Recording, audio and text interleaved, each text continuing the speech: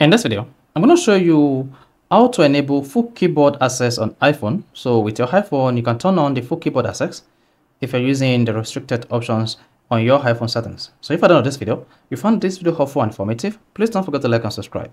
Now, when you want to turn on full keyboard access on your iPhone, all you need to do is go to your iPhone settings. On the settings page, I want to scroll down and click on accessibility.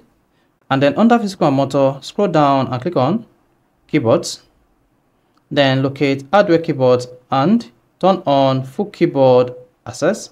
Then turn this on. There you go.